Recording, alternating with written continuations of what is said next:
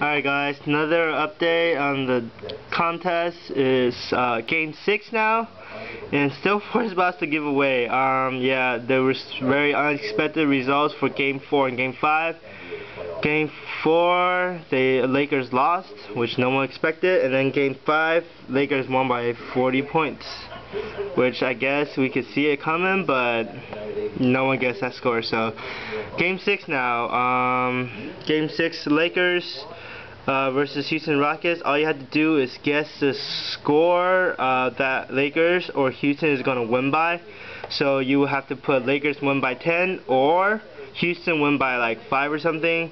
You cannot guess both Houston Rockets winning because that's just be guessing twice.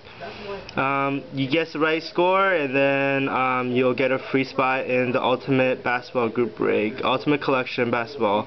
Uh, four more spots left. I want to just get the four spots filled. Um, so I could do the team drawing. So, um, okay, so pretty much uh, the four people that are the closest.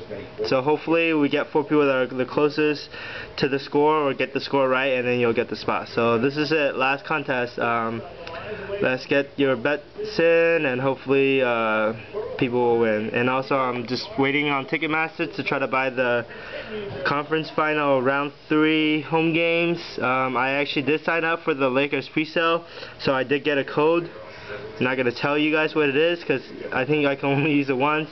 So I'm gonna try to buy maybe four tickets each game and then sell two and then go to the sell two tickets and then go to the game. So um, wish me luck. Pre-sale starts at two.